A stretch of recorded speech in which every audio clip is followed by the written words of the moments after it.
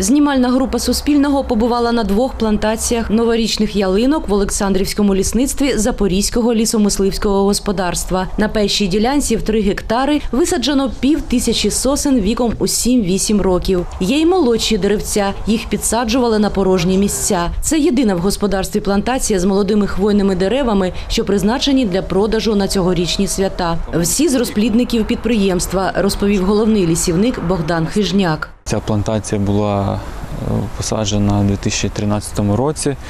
Е, Ну, ялинкам вже так 7 років. Е, В принципі, вже можна їх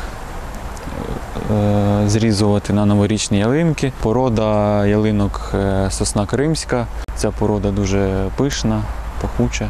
Неподалік ще одна хвойна плантація, висаджена цієї весни під час екологічної акції озеленення України. На п'яти гектарах тут ростуть одно-дворічні сіянці, 6 тисяч сосни кримської і 42 тисячі звичайної. У передсвятковий період постало питання охорони дерев від браконьєрів, зауважив Богдан Хижняк. Зараз запорізькі лісівники узгоджують план взаємодії під час патрулювання плантацій з хвойними насадженнями, з правоохоронцями та екологічною інспекцією.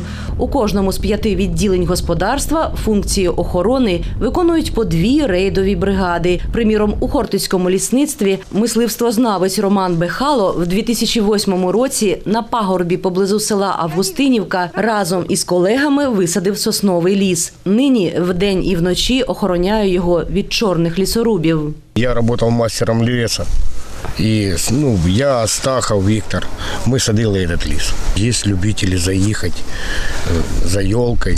Вже починається у грудні. Да, да, да. І ви тут протягом ночі Постоянно, днем и ночью тут находишься. До трех часов ночи вот был тут.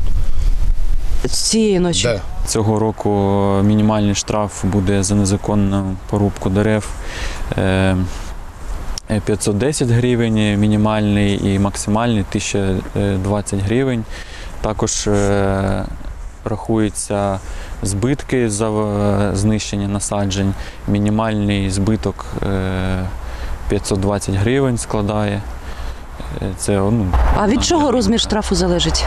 Е, Розмір штрафу залежить е, ну, від кількості зрубаних дерев.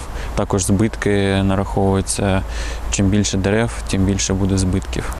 У Запорізькому лісомисливському господарстві дерева молоді, відповідна і їхня вартість, каже Богдан Хижняк.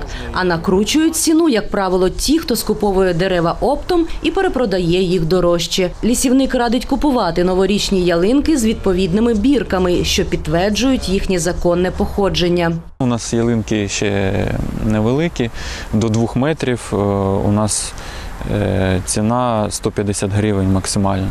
120 е, е, це метр ялинка і до 2 метрів Крім зрубаних дерев, у Запорізькому лісомисливському господарстві реалізовуватимуть святкові комплекти з хвойних гілок, а також так звані ялинки з комом, з землею та вологозберігаючою тканиною навколо коріння, аби залишились живими. Таке дерево навесні можна висадити у ґрунт і воно продовжуватиме зростати. Ольга Ларіонова, Олег Строгунов. Новини на Суспільному. Запоріжжя.